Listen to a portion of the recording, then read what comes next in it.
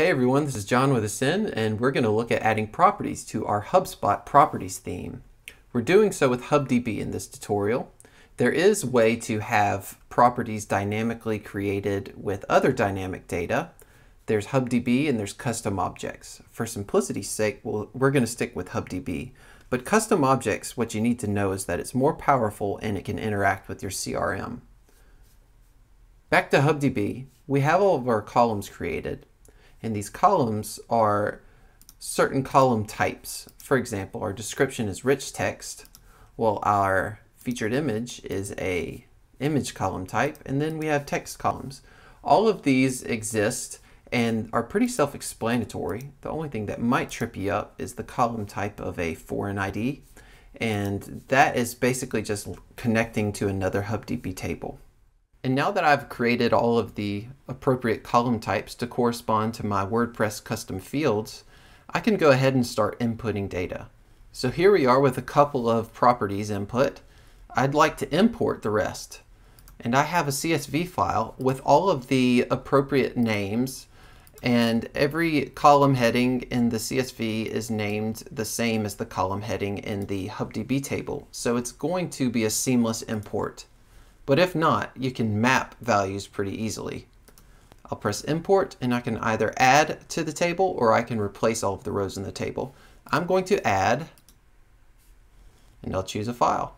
Okay, I've uploaded my property listing CSV.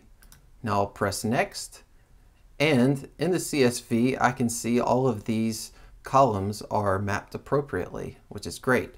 There are these columns right here, and we'll look at these in just a second. For now, I'm going to press import. Everything's done, and great. 8675309 drives in there. And I mentioned that we need to make this dynamic in an earlier video, so we can create dynamic pages with our property data. Now, we can do this by going to Actions, manage settings, and we'll need to toggle both of these settings on, the allow public API access and enable creation of dynamic pages. I can map these metadata columns with existing columns or I can wait and create new ones.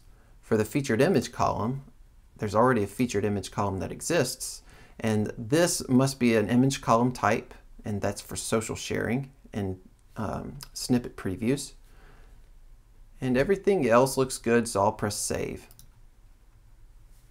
And now we have a page title column and a page path column that exist. And I can see the page title.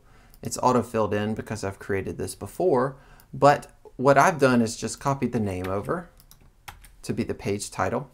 And then the slug, I'll go ahead and copy the name into the page path and it makes everything lowercase and kebab case for me, which is great and I'll tack on the city and the state to the end of the slug as well. California. And that looks good to go. So I am going to publish. And now we'll look into creating our dynamic pages with this data in the next video.